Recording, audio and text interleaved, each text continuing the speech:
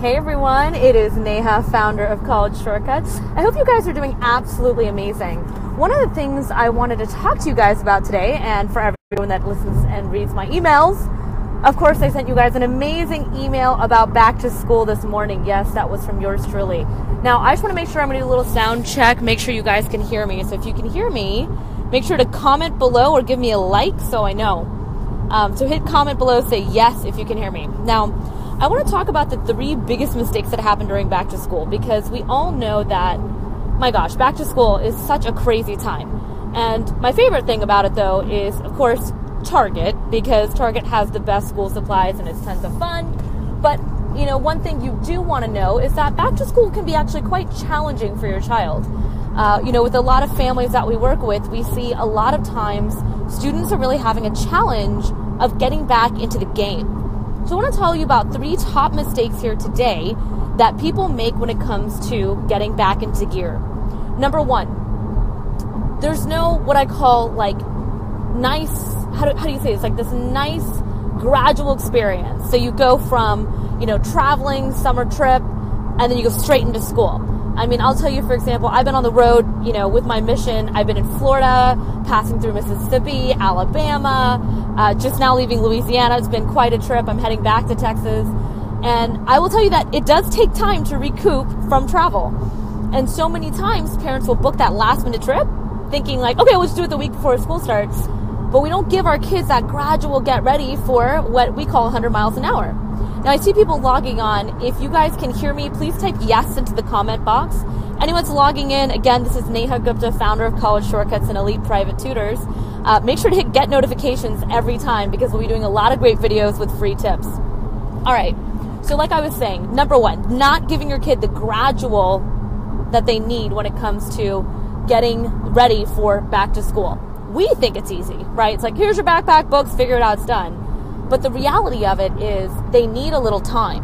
First, one of the biggest things I keep seeing is why did all the kids forget about summer reading until the week before, right? Like, I think that's one thing most parents get frustrated about. But it's really about setting them up for success. So allowing them to have the time they need in order to really get their stuff done. The second thing that's really important here about that gradual thing is that you've got to make sure you have all the supplies ready for your kid. So the planner is a big one. I was talking with a student out in California, this really sweet boy who has signed up for my peak performance program. And we found out that the reason that his grades were dropping last year was because specifically he did not use his planner effectively and he was just using the online portal. But so many times, by the way, when you think your kid's like, oh, I got it in the online portal, not every teacher has gone up to speed yet about using these portals. So you've got to realize the importance of making sure that your child has everything ready to go when it comes to back to school. So that's the first thing I want to talk about that I see over and over where school started 100 miles an hour and your kid is just still enjoying July 4th. I mean, literally is like on vacation, still having a good time, used to sleeping up, you know, sleeping till noon, and they don't have that routine set. So that's the number one big thing. The second thing that's really big that I keep seeing uh, is test prep. So, for example, a lot of students are taking uh, an SAT really soon in the next few days. What I will tell you is those students that were planning on taking that test, they started prep at least two months in advance. So, when you have back to school, most parents think, okay, let's go ahead and get started into school and let's let's make sure that we, you know, set the first two weeks to get set up, etc but they don't realize that there's these all all these other dates for the SAT and ACT that really you should be preparing for now. Because the thing about it is most schools don't give that much homework. They don't have that many tests in the first semester, especially between August, September, uh, and October. These are kind of the lightest months academically for a student. So I really want to make sure you understand that, you know, when it comes to test prep, it does take a plan of action. And one of the things we love doing, and that's why I put my phone number below, we've got team members ready to go for you. We've got these amazing back to school specials right now, and we've got parents calling nonstop. I mean, we have about 100 parents right now that we're trying to communicate with to make sure we get them all booked up. But what I will tell you is, when it comes to test prep, number one, you want the best coach. And when you're not setting your kid up for success for back to school and you're waiting till the last minute, because you're waiting for them to talk to you or you want to talk to them about it. I will tell you, as someone who's an overachiever, top of my class type of kid, my parents didn't wait to ask me if I needed test prep. They just got it set up for me. I, I don't know how else to explain that. Like, while most teenagers would rather be on Snapchat or watching the Kardashians or Life of Kylie or all that other trash on television, if you're asking them to do something they don't like to do, they're children. They're not going to be like, yeah, test prep. Like, that's not going to happen, guys. So, it's really important for you as a parent to really take ownership and say, you know what, let me find out some solutions and start getting it booked. And like I say in every email, if you have time to be booking your kid for soccer, dance, football, all this other stuff, let me tell you what's more important test prep. Now, PSAT is coming up in October, and so many parents aren't even thinking about it, but that's a big test coming up. And most parents don't think about it till mm, a week before, which, let's face it, you can't drive results a week before anything. You know, I have a gala that's going to be coming up in the next few weeks. I'm not going to try to look phenomenal for it a week before. I'm going to really work hard ahead of time. That's why, you know, if you look at celebrities, they have trainers, they have it's set up as the game day. Well, so is the test. The test is the game day and it's the kids that, you know, really set themselves up for success. You know, they study at least a minimum 30 hours for the test, upwards of 50, that really get the scores that get national merit, scores above 1400 on the SAT, 30 and above on the ACT. I mean, these are the types of scores that really get students into top schools. So, you know, on my way back to Texas, I thought, you know, why not talk about the pitfalls? Um, no pun intended, you know, since I'm driving pitfalls.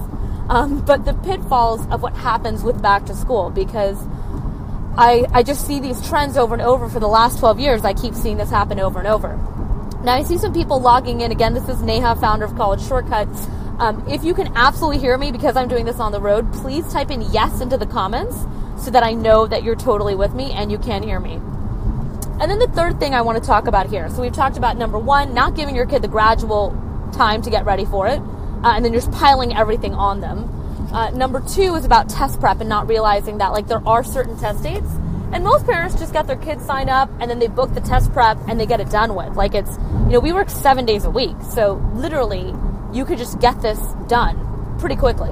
Um, and we've got these amazing back to school special guys, like incredible pricing on test prep right now. It's insane. So call us at 713 401 2867. The third thing I want to talk about with back to school is really not understanding why tutoring is so important. So most of the time I get, you know, what I call the nightmare call in about October when a parent goes to the online portal portal and receives the progress report, what I call the dreaded progress report, because they already knew in advance that they signed their kids up for pretty challenging classes, but yet didn't get them the support that they were supposed to get.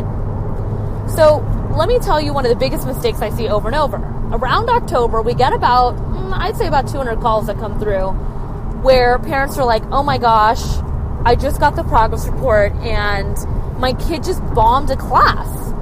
And I said, interesting. So tell me, um, did you already know, based on past experience, that this class would be hard for, for your kid? And they go, yes, I knew it already. Um, I knew this would be a really challenging experience for them. And, well, you know, I, I just thought they'd be able to figure it out. I'm like, great.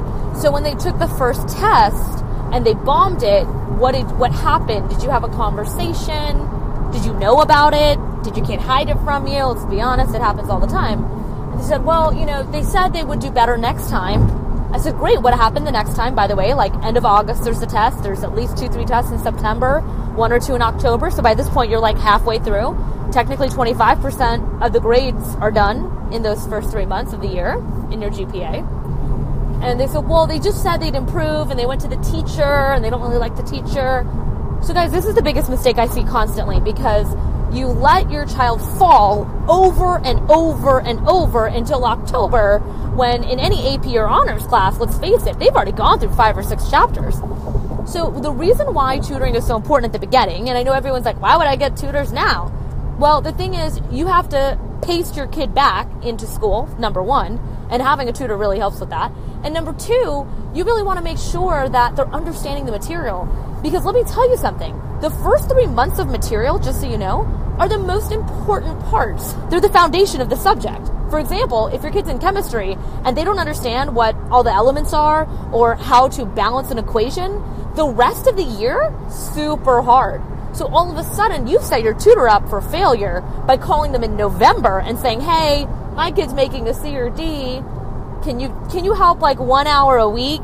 And let's face it, they're learning five hours a week of material, already moving forward, and you want our team to teach your kid the last three months of material that they weren't getting.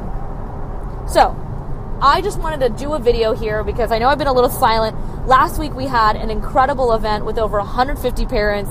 Uh, it's been an insane uh, few, last few days. I've been on the road, um, and I'm heading back. But I just I missed you guys so much, and I wanted to reach out to you because I know back to school is really intense. So here are a few ways that you can really solve this issue for your kid.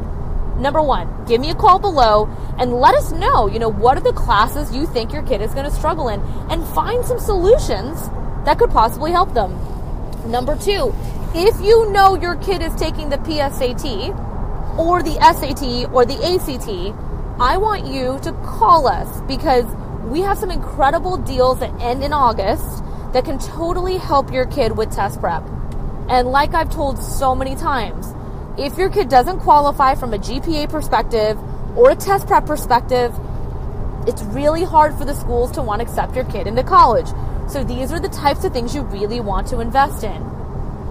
And then the third thing I want you to know is just handle your kid with a little bit of care. I mean, let's face it, they just had a whole summer break. They got to do all these fun and cool things. You know, they got to travel. They got to do these amazing internships. You know, it's it's not easy for them either. And so like I always say with heart, you know, our kids are amazing. They just need a little time to adjust. Why not get them a little bit of support? You know, and, and I know that sometimes that's hard because we don't want to admit we need help. But I'm here to tell you that getting help is amazing. It's the team that makes the dream work. And we have an incredible team at Elite Private Tutors and College Shortcuts. You know, I handpick everyone on my team. We make sure that energetically we're synergistic together, that we're all pushing forwards towards our mission of uplifting humanity and making sure that all kids are taken care of. Um, and so I just wanted to do this quick video for you guys because I know that back to school can really stress you out as a parent. And sometimes you're maybe not your absolute best. I know sometimes I'm not my absolute best. And I just wanted this to be a quick reminder on some of the trends I see over the last 12 years around this time of the year. Um, but also, I wanted to give you some solutions on how we can be of service to you and how we can make your life easier as a parent because we know how challenging it already is. So, don't hesitate to call me. We have an amazing team ready to go. I've already told my team I was doing this video, so anyone that's watching, we'd be more than happy to speak with you, see if we're a great fit. If we're not, maybe we